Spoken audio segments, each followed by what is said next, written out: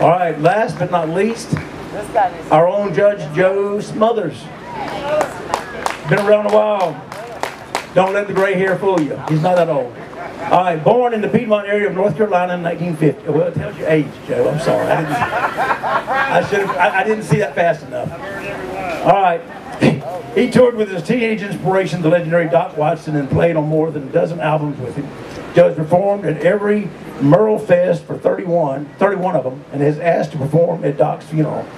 Joe toured extensively with Jack Lawrence as a supporting act for John Prine, Leo Kottke, and Emmylou Harris, to name a few. He released two albums, These Things I Know and Temptation, Temptations, his song.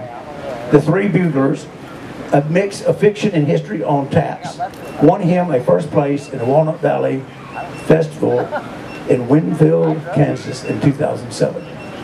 He used to play with a little band around here for years and years and years you've probably heard of. Remember back in those days as well. Anyway, we are thankful to have them give their time and their efforts and their musical knowledge to be here and be judges tonight. Let's give them all a big hand. Yeah, yeah, yeah.